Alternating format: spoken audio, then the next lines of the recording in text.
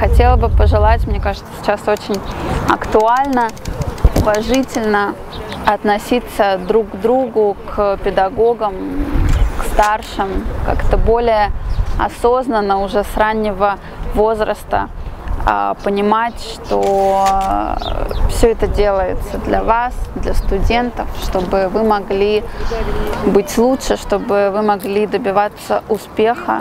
И, и входить в историю.